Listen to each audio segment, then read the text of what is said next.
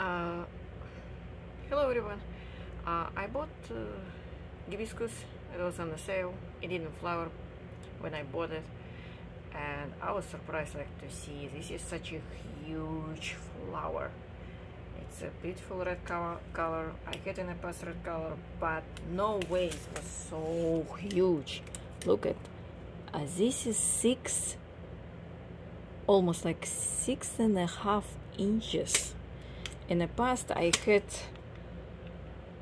flower it's probably no not even five four and a half.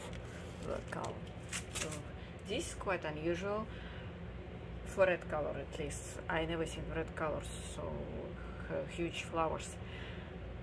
I have seen another varieties it's not uh, it's very difficult to find them like different color uh, two colors like yellow plus purplish or say like pinkish.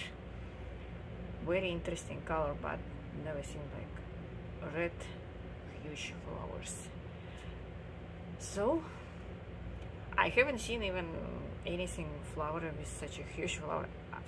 Uh, when I was shopping there were a lot of different hibiscuses there. And I'm not sure if this is because of variety or this because uh, nursery were feeding them with a lot of uh, fertilizer it's usually fertilizer that's uh, impacting sizing and so far and usually a lot of plants uh, on sale what you see overfed with uh, nitrogen. keep that in mind. We'll see, I should have uh, some other flowers here. And we're gonna see what size is gonna be. And I got another one. It's the same big size.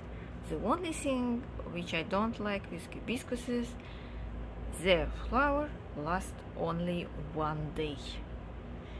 And in order to see flowers every single day on your plant it needs to be quite bushy. Another another actually flower is coming we'll see. It's gonna be the same it's the same stem actually so it's gonna be the same color. Okay that's it for today